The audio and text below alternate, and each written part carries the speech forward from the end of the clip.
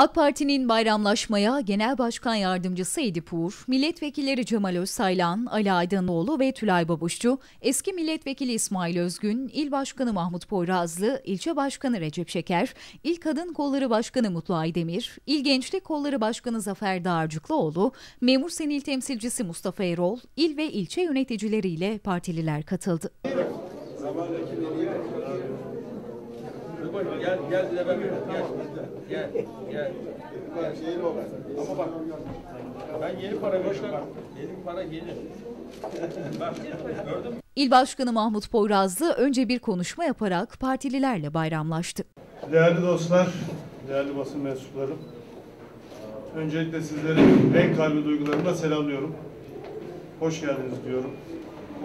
Hem şahsım adına hem AK Parti İl Teşkilatı adına sizlerin Balıkesirli hemşehrilerimizin, aziz milletimizin ve tüm İslam aleminin mübarek Kurban Bayramı'nı tebrik ediyorum.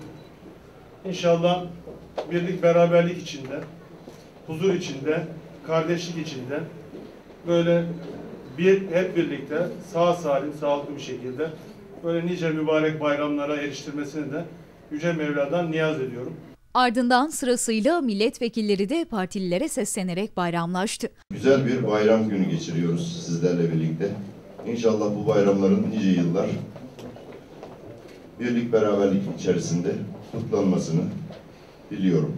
Çok değerli Genel Başkan Yardımcım, değerli milletvekili arkadaşlarım, il genel meclis üyelerimiz, belediye meclis üyelerimiz, değerli teşkilat başkanlarımız, yönetim kurulları, muhtarlarımız, temsilcilerimiz. Hepimizin, hepinizin, milletimizin, tüm İslam aleminin e, Kurban Bayramı'nı kutluyorum. Hayırlara, birlik, beraberliğe, kardeşliğe, dostluğa e, vesile olmasını diliyorum. İl Valimin, il başkanımın, milletvekili arkadaşlarımın, hanımefendilerin, beyefendilerin mübarek Ramazan bayramı geçtikten sonra kurban bayramı. Ama şunu onun için söyledim. Şimdi bu parti topluma ve bizlere bir şeyleri hatırlattı ve bir şeyleri öğretti. Ramazan bayramı dememin sebebi hikmeti şu. Biz Ramazan'da oruç tutarız. 30 gün. Ondan sonra bir bakarız ki afişler hazırlanmış. Şeker bayramınız kutlu olsun. Ya biz 30 gün şeker yemiyoruz ki Ramazan'ı idrak ediyoruz, oruç tutuyoruz. Ondan sonra bakarız Kurban Bayramı. Kurban Bayramı kurban kesildiği için ona da et bayramı derler. Kurbanın ne olduğunu bilir isek kurbanın et bayramı olmadığını da anlamış oluruz.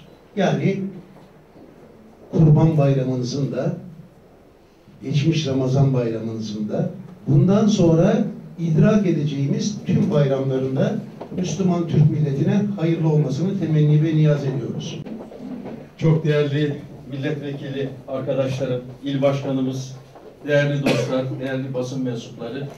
Ben de diğer arkadaşlarım gibi hepinizin mübarek Kurban Bayramı'nı tebrik ediyorum. Birliğimize, beraberliğimize, bütünlüğümüze vesile olmasını Cenab-ı Allah'tan niyaz ediyorum.